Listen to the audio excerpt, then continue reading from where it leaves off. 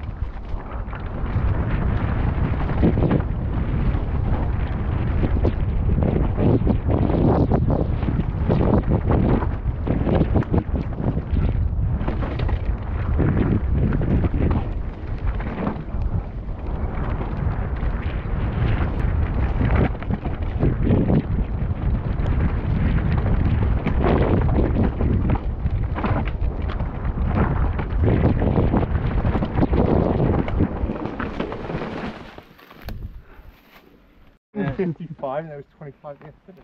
Have a good one. Yeah, I mean,